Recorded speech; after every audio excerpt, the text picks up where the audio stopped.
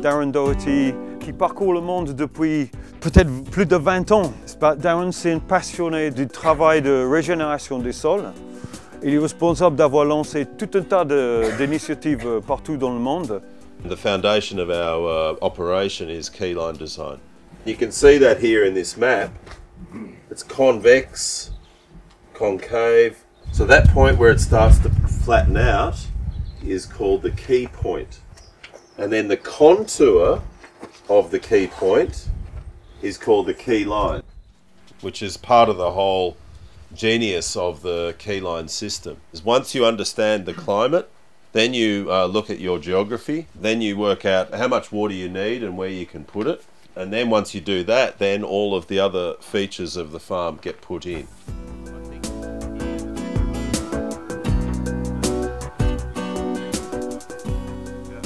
So I'm just estimating where a contour is going through here. That's my first step.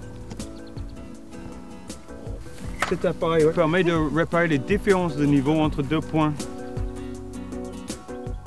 What I'm trying to establish is the shape of this land so that when we're doing keyline ploughing that we can make sure that we've got the effect that the water is flowing from the valley out towards the both adjacent ridges.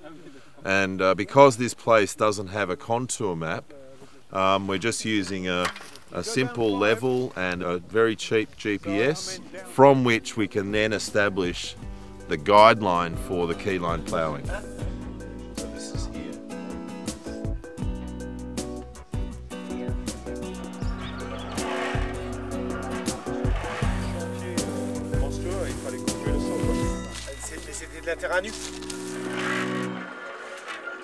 The goals of a course like this are to have people actually understand what Keyline is about. That it's it's not just about dams or it's not just about a keyline plough, that it's a whole system of farm design and to have people understand the geometry and geography of keyline so that people understand where is a key point, where is a key line of the valley, um, how to develop some of the patterns of cultivation into the landscape and just get that general sense of, uh, of what the whole keyline farming system is about.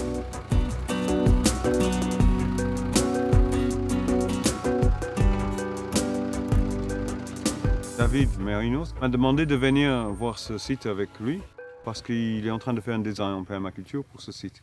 Et il avait l'idée de décompacter le sol avec le charrue Yeomans pour un seul passage, on va décompacter, on va s'aimer, on va injecter dans ces fentes-là.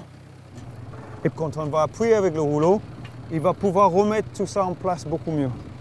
Le disque qui ouvre coupe la motte et la motte reste mis en place. Et ça marche trop bien j'ai déjà fait des PDC euh, comme formateur, mais l'idée de former des gens en keyline design, c'est aller beaucoup plus loin dans le sens agricole, une partie de la permaculture qui me tient vraiment à cœur.